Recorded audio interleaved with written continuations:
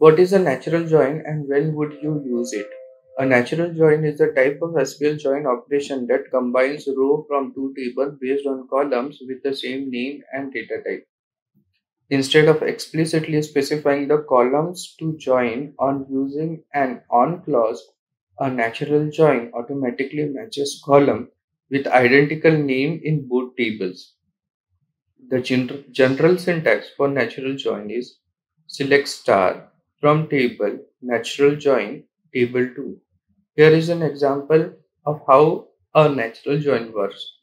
Consider two table employees and department with the following structure. Employee has employee ID, first name, last name and department ID.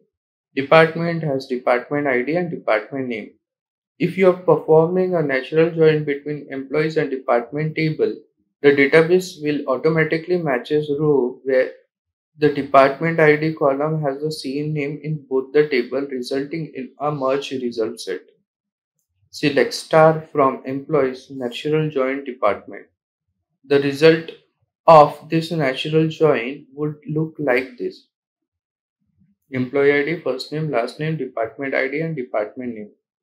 When to use natural join? Natural joins are not commonly used in practice for several reasons.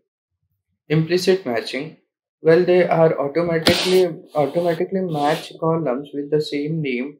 Natural join can lead to unexpected and potential incorrect result if the column name changes over time or if column with the same name exists in the table but should not be used for joining.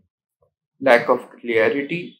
Natural joins can make queries less clearer and self-explanatory, it's often a good practice to explicitly specify the join condition using an on clause for better readability and to avoid ambiguity.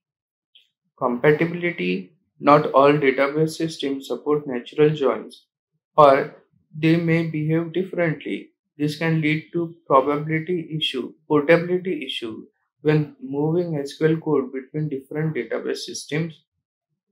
Maintenance Natural join may become problematic while dealing with large and complex database schemas, as they rely on column name rather than explicitly defining relationship.